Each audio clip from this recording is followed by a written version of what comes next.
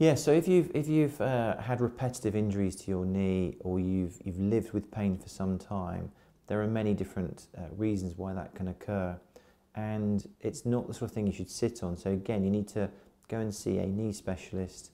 You need to see someone who's interested in joint preservation.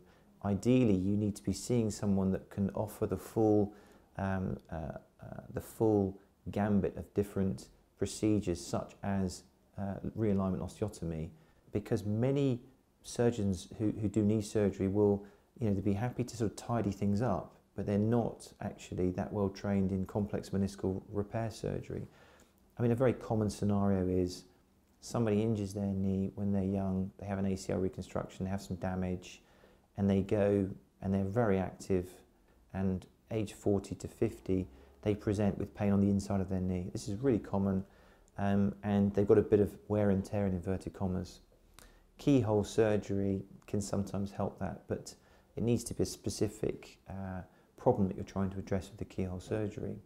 Um, if there is established joint surface damage, shock absorber damage, and you're, and, so, and as I say, most common it's on the inside of the knee, that's what we treat 90, 80% of the time.